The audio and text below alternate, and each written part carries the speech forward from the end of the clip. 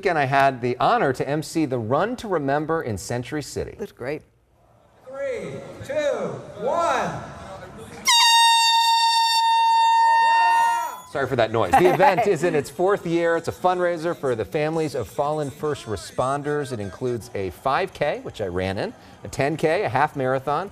More than 6,000 people ran, including 2,600 police officers and firefighters, many of them in, In full uniform. I just want to show that, um, just show my respect for the fallen and the families of those who are fallen. And um, I just think that doing it in full gear is not only a good way to like keep fit, but also just to show pride in my department.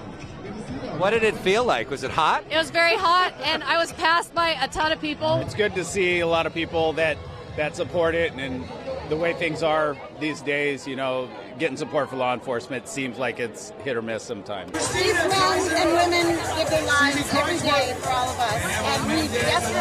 everyone to be a part of honoring them. Big thanks to Janet Crown, Steve Robinson for founding this event and organizing it. Among the participants, the mayor of Los Angeles, Eric Garcetti, and the chief of police, Michel Moore. They helped launch You're in the good race. company there.